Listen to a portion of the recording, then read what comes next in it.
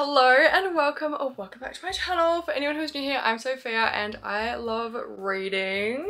I usually say reading romance books, but I feel like I, I feel like I'm slowly starting to expand my taste. So we'll just settle with reading. But it is that time of the month once again where we have to pick my monthly TBR. And I love choosing my TBRs with my TBR jar because I feel like it keeps things a little bit spicy, keeps things a little bit interesting, makes me revisit some books on my shelves that I may have forgotten about. Of course, if you do enjoy this video, please don't forget to like, comment, and subscribe because I would absolutely love to have you here. I think for this month, I might switch things up a little bit. I usually choose eight books and then feel really upset with myself when I don't read the eight. So we're gonna scale it back a little bit and we're gonna make it a little bit more attainable. And I think I'm gonna choose six books. Hopefully that means I'll be a little bit more likely to get to all of the six books and not be as decision fatigued. Anyway, let's get into choosing my first book. I want to dig like all the way to the bottom. I did put some new prompts in last month, so we'll see if we can get some new ones as well. What do we got?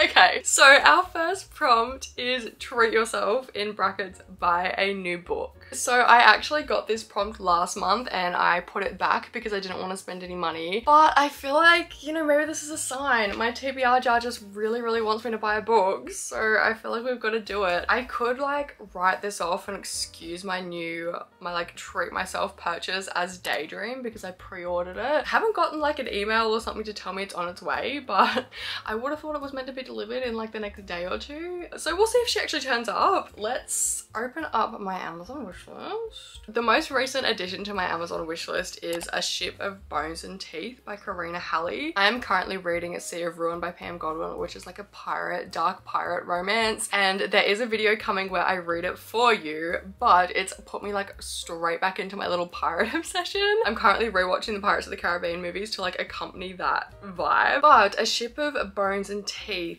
I think is a pirate moment. Gothic dark fantasy pirate romance retelling of The Little Mermaid. Oh, is Miss Girl a mermaid? Hello? Princess Marin is a woman with a secret. When she was 16, she sold her soul to the sea witch Adonia, giving up a life underwater in exchange for the love of Prince Eric on land. But after a decade of abuse and misery inflicted by the cruel prince, Marin wants nothing more than to leave him and her royal role behind and find Adonia to reverse the spell. An opportunity for escape presents itself when the prince and princess are traveling overseas and are taken hostage by a band of notorious pirates led by the fearsome Captain Ra Captain, Captain Ramsay Bones Batista. Oh, the ship's haunted and crewed by the damned. This does sound interesting and it looks like there's a sequel, so I'd say it's a series. She has a 3.81 average star rating. What are my friends saying? Three star DNF 4.75 star. We've got two more five stars. Okay. In one of my friend's reviews, she talks about the pacing being a little bit off and wanting some more angst. So I feel like I really want something with a bit more guts to it. Like I'm a little bit over all the like little TikTok rom-com kind of things that are coming out at the moment. I want a book with a bit more bit more substance than just a spicy little romance. Guys, I'm having a big dilemma right now. Oh my god. I'm having an identity crisis. Oh my god. Ruthless Creatures by J.G. Geissinger is $5,000. Can you see that? That's ridiculous. Okay, I'm I'm looking at my Goodreads want to read list. I've looked at my Amazon wishlist. The only books that book that is tempting me is that Karina Halle book. I've heard very good things about her writing from people like Mortimer. Mary. I think she loved the has it got like oranges in the title. I can picture the cover so clearly. I'll put it up if I can remember, if I can find it find what it is. I've heard really good things about her writing in this and apparently this book was really good. Surely the theme just continues over into her pirate book, right? When was it published? 2023 so should be on par with that. It's like Orange Lust or something. I can't remember what it's called. Should be on par with that because of a recent release. How many are in the series? What am I getting myself into? Is it a duet? Oh no interconnected standalones. Okay. it's like, how much am I committing myself right here? I think I'm gonna get A Ship of Bones and Teeth by Karina Halle and we're gonna try and read it during the month of September. Okay, my order has been placed. A Ship of Bones and Teeth is coming home with me. My TBR jar told me to treat myself and I can't, I simply can't ignore her for a second month straight. So we're hopefully gonna get to this book this month. I am quite intrigued by it and listen, I want to continue with my little pirate obsession. Yeah, let's now choose my second book. Oh, that one's like hanging on. we have a book set in a different country. So this prompt really opens the doors for me for literally any single book on my bookshelf because I live in Australia, no books are set here. So my opportunities are quite endless. What do I feel like reading though is the question. I feel like I don't know what I want to read at the moment actually. I have a book sat just down here which I bought the other day because one of you guys recommended it to me in the comments and I told you I was going to read it in a video. So I could choose this one and that is the only one left by Riley Sager. I know this is like a mystery, has some potentially horror elements towards the end I think. A heart-pounding gothic thriller from the master of suspense. Everyone believes that Lenora Hope is a mass murderer. When the Hope family was massacred decades ago, she was the only one left alive for that after that tragic night. Mute, paralysed and confined to a wheelchair, Lenora has never been able to tell her side of the story until her live-in caregiver Kit brings her a typewriter and with one working finger, Lenora begins to type. I want to tell you everything. It's giving, and I haven't read this book, so I could be wrong, but it's giving the silent patient. This one does sound quite interesting, and I, I'm gonna assume it's not set in Australia. Like, the chances of this being a, a, an Australian book is so slim, and I'm pretty sure Riley probably is an Australian, so he wouldn't think to set it here. A native of Pennsylvania, he now lives in Princeton, New Jersey, so I'd say this is not set in Australia. Should we do it? Look at me, a fantasy and a thriller on my TBR, not a single ounce of romance. Well, a ship of bones and teeth is probably like a romantasy, but I'm turning a new leaf. I think I'm gonna put the only one left on my TBR. She sounds kind of fun to be perfectly honest. All right, book number three. I don't know how I managed to make these videos so long. I just can't shut up to be perfectly honest with you. A, that's exactly what I don't want actually. this prompt says to pick a viral BookTok book. I feel like I can't, I'm, I'm not really keeping up with BookTok anymore, but does Daydream by Hannah Grace count? Because Icebreaker is the OG viral BookTok book. Eh? Let's have a look at what else is on my TBR. We could do When the Moon Hatched. We could do Butcher and Blackbird by Brynne Weaver. Darling Venom by Parker S. Huntington. I feel like that one could have a little bit of like extra, not extra, but like a little bit more of a complex plot to it, maybe? Pucking Around by Emily Rath, anybody? oh my god. To be fair, this could be a fun one to read like when I don't want something thought-provoking. Like it could be a fun one to read in between a fantasy and like a thriller and just like read a couple of chapters here and there. I don't mind that idea actually.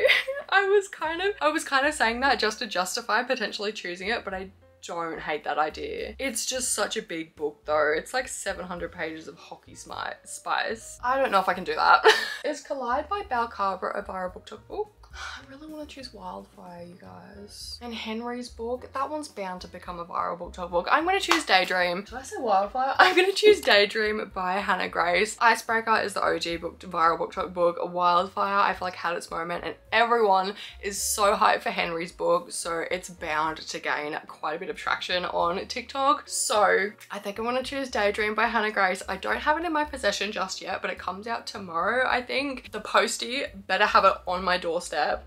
If not, I'm not gonna do anything, but I want it on my doorstep tomorrow. but yeah, I'm really, really excited to read this one. I think it's potentially like a tutor, tutor student kind of moment. Like he goes to her for some tutoring and they like strike up a relationship. Yeah, I really don't actually know much about this book other than the fact that it's Henry's. Let's actually have a look. Henry and a fellow student come up with a plan to help them both overcome their respective challenges in a difficult year when his procrastination lands him in a difficult class with his least favorite professor. Why can't I talk today? Professor Henry Turner knows he's going to have to work extra hard to survive his junior year of college. And now with his new title of captain of the hockey team, which he didn't even want. Henry absolutely cannot fail. Enter Hallie Jacobs. That's a really cute name. A fellow junior who finds herself befriended by Henry when he accidentally crashes her book club. Are we about to have a moment where the book boyfriend reads her books and the spicy scenes in those said books? Because look, I'm not gonna complain. I do see it done a lot these days, but I'm not gonna complain, you know? Uh, Hallie may not have the romantic pursuits of her favorite fictional leads, but she's an academic superstar. And as soon as she hears about Henry's problem problems with his class reading material she offers to help. Too bad being a private tutor isn't exactly ideal given her own studies, job, book club, and the novel she's trying to write. But new experiences are the key to beating her writer's block and Henry's promising to be the one to give them to her. They just need to stick to their rulebook. Oh, and not fall in love. Look, it sounds like every other rom-com that I've read. sounds like every other single private tutor book girl kind of romance that I've read, but am I gonna read it regardless and probably eat it up? Yeah, so I'm gonna stick Daydream by Hannah Grace on my TBR. Okay, book number four. This one feels like it's gonna be a big prompt. Maybe, maybe not. Ooh, a book written by multiple authors. I've not seen this prompt in a hot minute, so I'm very happy that we're getting some older prompts coming through. But what are our options? We have Christina Lauren, we have Bet Krista and Becca Ritchie. Those might be our only options actually. Okay, I think that's the extent of the options that at least I'm aware of. So I think I'm gonna go with Krista and Becca Ritchie and I'm gonna read Ricochet, which is the second book to Addicted to You. I read Addicted to You a couple months ago and I actually slightly unpopular opinion, quite enjoyed it. I really love the writing style. I wasn't like obsessed with Lily or Lo, but I kind of liked their toxicity. Like as awful of me as that is to say, I enjoyed the toxic like plotline to it. And I also love the found family and just the like huge cast of characters. So I think I'm gonna loop back around and read Ricochet by Krista and Becca Ritchie. This one I believe is at least like the first step of Lily and Lo recovering because they Lily's a sex addict and Lo is an alcoholic alcoholic. The first book follows them basically enabling each other and really struggling with it with their addictions and sort of like grappling with how to reach out for help. And Ricochet, I believe, is the book where they finally get that help, when they finally start to recover and rebuild relationships with their families and their friends. So yeah, I'm really, really intrigued to read this one. Pretty sure this one's on Kindle Unlimited, so that is fantastic because I don't have the paperback. I'm really excited to continue on with the Addicted series. Okay, book number five. Pucking around is just like staring at me from my bed and it's I don't want to read you right now, babe. Stop looking at me. Okay, let's have a look. Yes, that's only one. Uh, oh, this is another one of my new ones. Okay, this one is a book closest to 300 pages. I feel like the only correct place to start is with one of my Ashley Munoz books because I loved love, love, loved where we started. It's 285 pages. I know I can get closer. Okay, maybe we try Swift and Saddled. Immediately, we're already closer. What have we got? Oh, no, it's 285 pages once again. Okay, don't read the words. But we have Swift and Saddled at 285 pages. Then we also have Where We Promise by Ashley Munoz. Oh, this is the third book. Book two, she feels a bit thicker. Come through. No, She's 283 pages. Oh, I could cry. So unfortunately, Ashley Munoz is out of the race. What books really aren't close to 300 pages anymore? Right, Tutoring the Player by Rebecca Jenshak. Once again, we have 283 pages. I don't think Steel King by Daphne Perry is gonna be, I think it's gonna be too many. Yeah, that's like 370 something pages. What have I got over there? I feel like all the books over there are too long. I've thought of a book that I could do a video with. The book I'm grabbing is Mayfly by CJ Leede and we're gonna stay here in case I have to put it back. We have 294 pages. Do we settle with Mayfly or do we keep looking? I feel like we settle with Mayfly. Or we have North of the Stars by Monica James since I love Fading to Blood which I swear I've mentioned in the past 10 videos. Since I love that book, it's about Vikings and like in a fantasy setting. This one's about Vikings as well but in a more realistic it's too long, never mind. I think Mayfly is the closest we can get and I'm not mad at that. So this one is a, I think it's a take on American Psycho, but it's got a female heroine and I don't know a whole lot about American Psycho, but I'm pretty sure Maeve, she works as a child's ice princess. So she does like children's parties and things. But in the dark of the night, Maeve haunts the dive bars with a drink in one hand and a book in the other, imitating her misanthropic literary heroes. But when her best friend's brother hello, do we have a romance subplot? Moves to town, he awakens something dangerous in her and the world she knows suddenly shifts beneath her feet. Untethered, Maeve ditches her disconnected act and tries on a new persona, a bolder, bloodier one. Inspired by the pages of American Psycho, Step Aside, Patrick Bateman, it's Maeve's turn. This one's been on my TBR a few times before, but I have a really fun video idea that I think I want to include this one in and what more reason do I need to pick this book? It's very intriguing to me. I believe it's horror Do with that what you will. I've never read a horror book before, but I do think I like reading about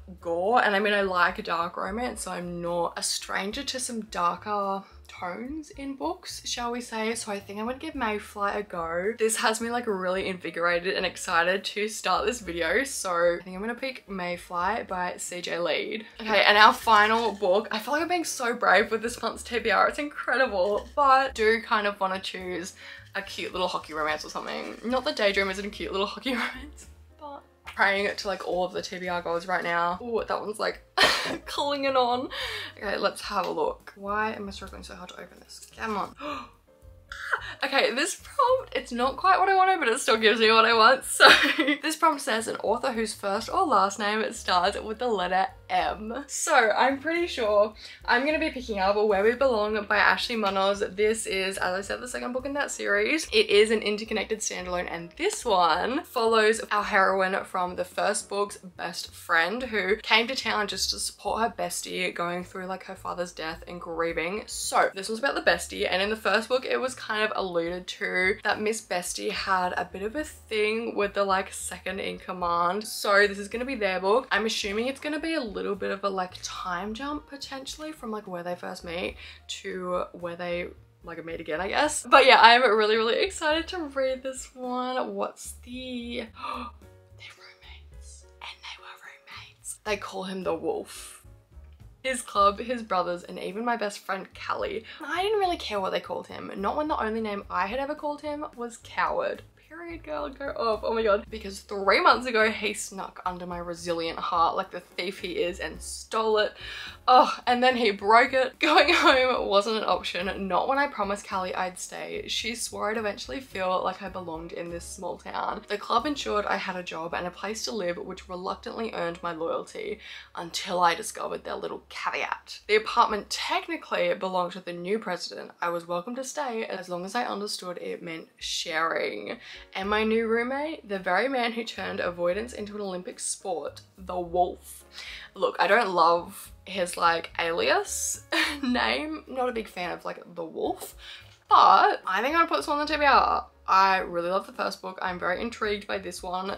They're just like very simple but entertaining books and they're written quite well. Like I really enjoyed the writing in the first in this series so I'm intrigued to see where it goes in the second one. Yeah, I think I'm gonna chuck this one on the TBR. This will be a little cute, silly, goofy read and I hope I have some fun with it. And with that, as we are only choosing six books, we have come to the end of this video. We're going to do a quick little recap on all of the books that I'm going to be picking up in this month. And let me know down below in the comments if you've read any of these books, if you're looking forward to seeing me read any of them, if you're going to take a wild guess at potentially what this video is going to be about. And yeah, the first prompt that I have to recap you with is an author whose first or last name starts with M. We're going to be reading Where We Belong by Ashley Munoz. For a book closest to 300 pages we're going to be picking up Mayfly by CJ Leede. For the prompt of a book set in a different country, I'm going to be picking up The Only One Left by Riley Sager. For a book written by multiple authors, I'm going to pick up Ricochet by Krista and Becca Ritchie. For a viral BookTok book, I'm going to be picking up Daydream by Hannah Grace. And finally, for Treat Yourself, aka Buy a New Book, I am going to be picking up A Ship of Bone and Teeth I want to say, by Karina Halle. And there we have my entire TBR for the month of September. I'm really proud of myself. I feel like I'm pushing my comfort zone a little bit and I'm just like very happy. How good do these, how good do they all look together by the way? Kind of fun, kind of not giving cutesy little rom-com who am I? I had a really, really good time filming today's video. I really hope you guys enjoyed as well. And yeah, as I said earlier, let me know down below if you've read any of these books because I would love to hear your thoughts, your opinions without any spoilers. And thank you so much once again for watching. Please don't forget to like, comment, and subscribe because I would love to have you here. My Instagram and Goodreads are always linked in the description if you want to check them out. If you want to keep watching some more of my videos, you'll find them down there as well. And yeah, thank you guys so much for watching once again for like the third, maybe fourth time. And I will hopefully see you in my next one. Bye!